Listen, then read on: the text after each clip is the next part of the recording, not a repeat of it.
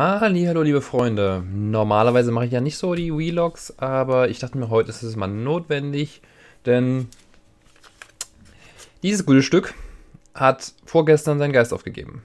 Komplett. Dementsprechend habe ich momentan eine super alte Grafikkarte drin, mit der ich froh bin, wenn ich überhaupt spielen kann. Und deswegen in den meisten Fällen auch nicht aufnehmen kann. Ich hoffe, ihr seht mir das nach. Ich habe mir schon eine neue Grafikkarte bestellt. Das wird eine R R9 Fury von AMD.